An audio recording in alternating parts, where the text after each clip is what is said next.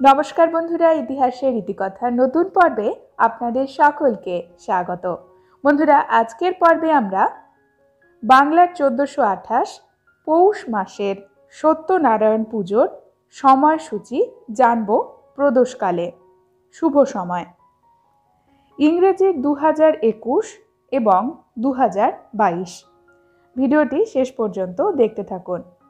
আর সত্যনারায়ণ পুজোর নিয়ম এই পুজোর উপকরণ, এই পুজোর পাঁচালি ব্রতকথা, সকল কিছু রয়েছে আমাদের চ্যানেলে ভিডিওগুলোর লিঙ্ক আপনারা এন্ড স্ক্রিন থেকে পেয়ে যাবেন।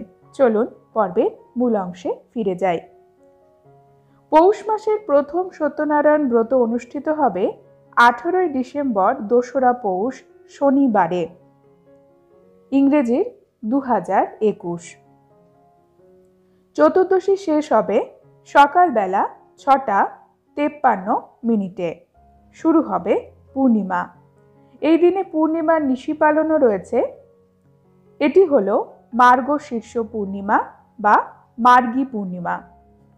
প্রদোষকালে সত্যনারায়ণ ব্রত, প্রদোষের সন্ধে চারটে একান্ন গতে রাত্রি ছটা সাতাশের মধ্যে শ্রী শ্রী সত্যনারায়ণ ব্রত সম্পন্ন করতে হবে।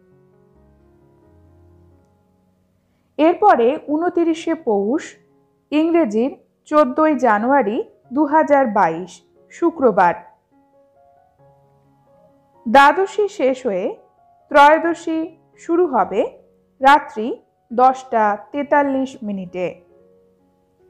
এই দিনে শুভকর্মের মধ্যে রয়েছে দীক্ষা গ্রহণ, দিবা এগারোটা ছেচল্লিশের মধ্যে দীক্ষা গ্রহণ সম্পন্ন করতে হবে। রয়েছে উত্তরায়ণ সংক্রান্তি দিবা এগারোটা ছেচল্লিশের মধ্যে সংক্রান্তি কৃত্য এবং স্নান দানাদি সম্পন্ন করতে হবে। প্রদোষের সন্ধে পাঁচটা সাত কতে রাত্রি ছটা তেতাল্লিশের মধ্যে শ্রী শ্রী সত্যনারায়ণ ব্রত সম্পন্ন করতে হবে।